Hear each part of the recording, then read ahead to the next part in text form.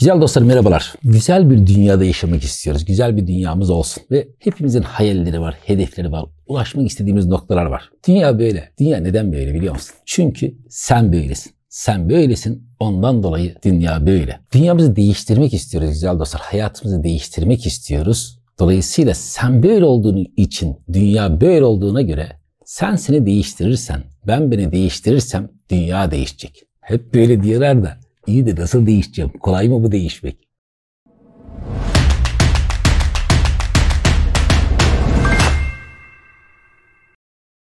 Hüzünlü bir durumdayken güzel dostlar hayat ya da dünya nasıl görünür? Yani güzel bir manzara izliyorsun. Diyelim ki bir dağa çıktın denizi izliyorsun. Hüzünlü bir durumdayken diyelim ki ailenden birisi vefat etti. Babam vefat etti ya da oğlum vefat etti. Ve sen o denizi izlerken ya da dolunayı bakıyorsun. Dolunayı izlerken nasıl görünür? Ne hissedersin? Ya da aynı manzaraya sevdiğin insanlarla baktığını düşün. Diyelim ki sevgilin yanında ve dolunayı izliyorsun. Ve sevgini uzun süredir görmüyordun. Diyelim ki buluştun ve dolunayı izlemeye başladın. O sırada nasıl görünür? Sen hüzünlüyken nasıl? Sen mutluyken, neşeliyken nasıl? Diyelim ki bir insan sarılık hastası. Sarılık hastasıysan her şeyi sarı görürsün. Dışarıda lacivert olabilir, beyaz olabilir, siyah olabilir. Ama sen sarılık hastasıysan sarı görürsün. Dışarıyı değiştirerek renkleri değiştiremeyiz güzel dostlar. O sarılık hastasının iyileşmesi lazım ki renkler değişsin. Yani gözün değişmesi lazım. Sen nasılsan hayatı öyle görürsün ve sen nasılsan hayata öyle tepki verirsin. Çok güzel bir hikaye var güzel dostlar. Çok etkilenirim, çok da severim. Dünyanın en güzel kızının hikayesi.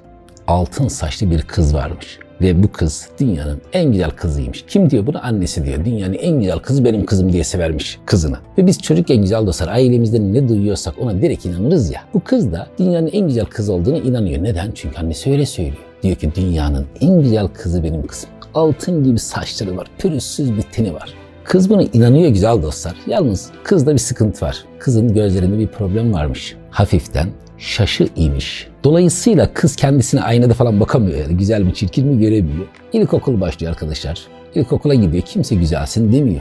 İlkokul bitiyor, ortaokula geçiyor. Kimse güzelsin demiyor. Bu sırada gözündeki problem de iyice artıyor ve kız hiç göremez hale geliyor. Ve insanlar diyorlar ki sen ne kadar çirkinsin ya. Keçe gibi saçların var. Çillerin var. Kızın evlilik çağı geliyor güzel dostlar. Kapısını çalan yok. Kız isteyen yok. Ve kız yavaş yavaş anlıyor ki güzel dostlar. Hepimiz zamanında öyle anlayabiliriz değil mi? Çocukken bir şeyler demişlerdir. Sonra bakarız ki hiç de hayat ailemizin dediği gibi olmayabilir. Sonra gerçeği daha doğrusu ailemizin söylediğinden daha farklı görmeye başlayabiliriz hayat. Ve kız da anlamış ki annem beni kandırmış. Annem bana yalan söylemiş. Ben kendimi güzel zannediyorum meğerse değilmişim. Ve kız annesinden nefret etmeye başlıyor güzel dostlar. Ya öyle bir nefret ediyor ki artık sesine tahammül edemiyor. Ve bir gün evden kaçmaya karar veriyor. Yani bu kadınla beraber yaşamaktansa bu evden giderim daha iyi. Kız bu kararı verdiğinde annesi de bunu hissediyor ve komşularına gidip diyor ki ben evden ayrılsam ve size her ay para göndersem kızıma bakar mısınız? Komşuları bunu kabul ediyor güzel dostlar. Anne kız ayrılmasın diye kendisi ayrılıyor işte annelikte böyle bir şey. Annesi ayrılıyor ve her ay komşularına para gönderiyor ve komşuları kıza bakıyorlar. Bir gün diyorlar ki bu kıza senin gözlerini ameliyatla açtırabiliyormuşuz. Ne dersin ister misin? Açtıralım mı? Kız diyor ki elbette isterim. Ve diyor anladınız mı? Bakın anladınız mı annemin ne kadar kötü bir kadın olduğunu? Siz yabancısınız, elsiniz. Beni ameliyat ettiriyorsunuz ama annem bunu yapmamıştı. Ve güzel dostlar, kız ameliyat ediliyor. Doktor diyor ki kendine bakmak ister misin? Gözleri açılıyor. Kendine bakmak ister misin? Kız diyor ki elbette isterim. Geliyor bir ayna. Kız kendisine bir bakıyor güzel dostlar. O kadar güzel ki. Gerçekten dünyanın en güzel kızı. Altın gibi saçları var. Pürüzsüz bir teni var. Doktora diyor ki ben güzel değildim. Ne oldu siz bana estetik ameliyat mı yaptınız? Doktor diyor ki güzel dostlar.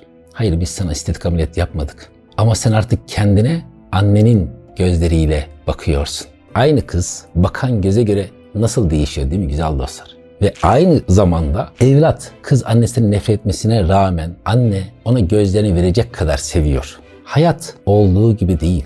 Sen olduğun gibi, sen nasılsan hayatı öyle görüyorsun. Bir ara annenin gözleriyle bakarken nasıl, başkalarının gözleriyle bakarken nasıl? Hayat dediğimiz şey güzel dostlar bizim bize yansımamız. Hayat bir ayna ve bize olduğu gibi geri yansıyor. Bizim aynamız bizden bize yansıyor. Ve eğer ben kendimi değiştirirsem hayatı değiştiriyorum. Çünkü hayat daima bana benim düşüncelerim neyse, benim hayat görüşüm neyse, benim inançlarım neyse daima bunu ispat ediyor bana. Ve ben de nasıl büyüyorum arkadaşlar? Bu ben dediğim şeyi, bu kişiliği nasıl oluşturuyorum? nasıl büyütmüşlerse, nasıl eğitim vermişlerse, toplum nasılsa, çevrem nasılsa oradan gördüklerimi gerçek kabul ediyorum. Yani ismim nedir benim? Ata. İsmin ne senin? İsminin ata olduğunu, isminin Ahmet, Ayşe, Mehmet olduğunu nereden biliyorsun? Çünkü öyle dediler. Biz ismimizi bile dışarıdan öğrendik. Bize ne deniyorsa biz onu doğru kabul ettik. Ve bize ne deniyorsa onu doğru kabul ettik. O bizim inancımız haline geldi ve hayat da bize öyle davranmaya başladı. Çok bilinen, anlatılan bir hikaye vardı güzel dostlar. Bizim yaşam şeklimizi anlattığı için çok hoşuma gider bu hikaye ve çok güzel, çok tatlıdır. Bir gün tavuklar ormanda gezintiye çıkmışlar. Tavuklar ormanda gezintiye çıktıkları sırada bir kartal yuvasına denk geliyorlar. Bakıyorlar ki orada kartal yumurtası var. Tavuklardan birisi diyor ki bu yumurtayı çalalım mı? Anlaşıyorlar hep beraber ve kartal yumurtasını çalıyorlar güzel dostlar. Bir müddet sonra tavuklardan birisi diyor ki ben kuluçkaya yatacağım. Civar kümeslerden yumurtalar toplanıyor ve kuluçkaya yatmak isteyen tavuğun altına bırakılıyor ve tavuk kuluçkaya yatıyor. Kartal yumurtası da orada. Çünkü bunlar kuş beyinli oldukları için unutmuşlar yumurta çaldıklarını. Bir müddet sonra güzel dostlar bu bir müddet 21 gün. Hani evrenin şifresi var ya 21 gün. Bir şey bilinçaltına 21 gün varsa o filizlenmeye başlar. Evrenin şifresi 21. 21 gün sonra yumurtalar çatlamaya başlıyor. İçeriden civcivler çıkıyor.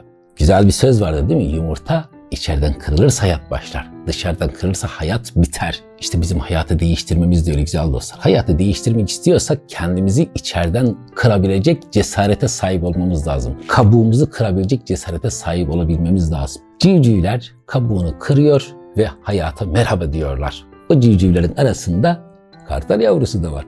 Ve anne tavuk bunları eğitiyor. Anne tavuk bunları eğitiyor. Nasıl eğitecek? Ne biliyor söyledi mi? Kendisi gibi eğitecek. Kendisi nasılsa öyle eğitecek eğitiyor ama bir müddet sonra arasından birisi daha büyük ebatlara sahip olmaya başlıyor. Kocaman kanatlar oluyor ve ünü namı yayılıyor güzel dostlar. Komşu kümeslerden bu kartal yavrusunu görmeye gelen tavuklar oluyor. Hatta civar köylerden görmeye geliyorlar. Gördünüz mü orada simsiyah kocaman bir tavuk var.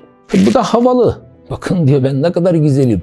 Simsiyah kanatlarım var sizler gibi değilim çok daha büyüğüm. Havalı ama kendisini ne zannediyor? Tavuk zannediyor. Neden? Çünkü tavuklar aleminde doğdu. Kendisi bir tavuk yetiştiriyor. Çevredeki herkes tavuk. Sadece ebatları değişik. Tavuklar aleminde doğduğu için, eğitim bir tavuktan aldığı için kendisini tavuk zannediyor. Bir gün gökyüzünde uçan kartallar görüyor. Arkadaşına gelip diyor ki ben de onlar gibi uçabilirim. Arkadaş da diyor ya sen kim uçmak kim? Kendini ne zannediyorsun vücudun biraz değişik diye. Arkadaşlarına cesaret alamayan kahramanımız annesiyle gidiyor. Anne kız vallahi ben de onlar gibi uçabilirim bana bir fırsat verin. Annesi diyor ki onlar göklerin kralıdır paramparça yaparlar seni. Sen kıl namazını et duanı sigortalı bir işe git başını belaya sokma. Sen kim uçmak kim? Evet çevresinden cesaret alamıyor, çevresinden destek göremiyor bu kartal yavrusu güzel dostlar. Tavuk gibi doğmuştu. Elbet tavuk gibi büyüyecek ve tavuk gibi ölecek. Ve tavuk gibi de ölüyor zaten. Kesip yiyorlar onu bir tavuk gibi. Hayat böyledir güzel dostlar. Biz çevreden bir şeyler duyarız çocukken, büyürken, Bilakis o 11-10 yaşlarından daha önce bir şeyler duyarız, bir şeyler öğreniriz ve hayatı onun üzerine inşa ederiz. Bu kartal yavrusu güzel dostlar hiç kartal gibi davranmayı denedi mi? Bir defa denese belki de kartal olduğunu fark edecek ama denemedi bile. Ya da bir kişi gelip ona kartal olduğunu söyleseydi, ikna etseydi uçmaz mıydı? Kartal gibi uçmaz mıydı? Aynı durum bizim için de geçerli güzel dostlar. Bir, kim olduğumuzu bilmiyoruz. Hani denir ya kendini bilen Rabbini bilir. Bir derviş diyor ki herkes Allah'ı arar ben insanı ararım. Biz kendimizi bilsek belki nasıl uçabileceğimizi de bileceğiz. Ya da ne olmak istiyorsak onun gibi davransak zaten o olduğumuzu fark edeceğiz belki de. Ama bu kartal yavrusu gibi cesaretsiz davranırsak, nasıl yaşamışsak, nasıl doğmuşsak öyle yaşayacağız. Nasıl yaşamışsak öyle öleceğiz doğal olarak. İşin gerçeği şu güzel dostlar. Bu kartal yavrusu arkadaşına varıyor destek alamıyor ya. Annesine varıyor destek alamıyor ya. Diyor ki bir gün deneyeceğim ya.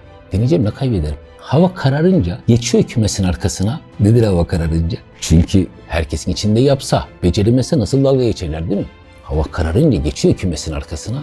Bir kanat çırpıyor, yükseliyor. Bir daha kanat çırpıyor, bir daha yükseliyor. Bir daha kanat çırpıyor, bir daha yükseliyor. Bir müddet sonra anlıyor ki zaten kartalmış. Ve kartal olunca doğal olarak kartallar aleminden arkadaşlar oluyor. Ve diyor ki arkadaşlarına sizi doğup büyüdüğüm yere götüreyim mi? Arkadaşları diyor ki kartallar yalnız uçar. Yalnız git. Ya diyor ki böyle saçma sapan şeyler insanlar aleminde olur. Saçmalamayın. Gelin benle diyor ve arkadaşlarını alıyor güzel dostlar. Doğup büyüdüğü kümesin üzerine kadar geliyor. Oraya bir damla gözyaşı bırakıyor ve diyor ki arkadaşlarına ben burada büyüdüm. Aramızda da bu şekilde çok kartal vardır değil mi güzel dostlar? Nerede büyüdü, neredeydi ama şu an ne konumunda? Olduğu yerden, olduğu mekanı, olduğu zamanı aşan insanlar da vardır. Ya da hiç aşamayan, o doğduğu kümeste doğup büyüyüp ölen insanlar da vardır. Sen kartal olduğunu farkında mısın? İşte şimdi ne diyoruz? Dünya böyle çünkü sen böylesin. Bu kartal yavrusu kendisini tavuk zannediyordu ve tavuklarla beraberdi, tavuklarla beraber yaşıyordu. Çünkü kendi öyleydi, dünya da öyleydi. Sonra kendisi denedi, kartal olacağını inandı ve ben deneyeceğim dedi. Kendisi o cesareti, o kahramanlığı gösterdi ve kartal olduğunu fark etti. Dünya böyle. Neden? Çünkü sen böylesin. Ve sen nasıl bakıyorsan hayatına öyle davranıyor. Sen bir anneysen evladın dünyanın en güzeli. Merak ediyorum sen kendini ne olarak görmek isterdin? Merak ediyorum sen çevrene ya ben bunu yapabilirim deyip de hangi konudan çevrenden destek almadın? İçinden en çok geçen, yapmak istediğin ama yapamadığın ne var? İstersen olmak istediğin, yapmak istediğin nereyse, nerede olmak istiyorsan, ne olmak istiyorsan onun ilk adımını şimdi burada atabilirsin. Yorumlara yazabilirsin. Ben buyum. Sen neye inanırsan, sen neye nasıl bakıyorsan öyle olacak. Ve sen neysen yorumlara onu yazacak cesaretin var mı güzel dostum? Ve güzel dostum. Ben arkadaşlar diyorlar ki hocam videolar falan yapıyorsun da ya videoyu beğenin demiyorsun, abone olun demiyorsun. Neden demiyorum ben de bilmiyorum. Sanırım utanıyorum biraz. Videoyu beğeniyorsanız beğenmişsiniz beğendiğiniz için. Abone değilseniz abone olduğunuz için. Ve bu videolar hoşunuza gidiyorsa dostlarınız arkadaşlarla paylaştığınız için sizlere minnettarım. Beni böyle sevgiyle, ilgiyle takip ettiğiniz için lütfen sizlere olan saygımı kabul edin. Ve her zamanki gibi sevgiyle güzel dostlar. Hatta aşk ile, hatta tutkuyla kalın.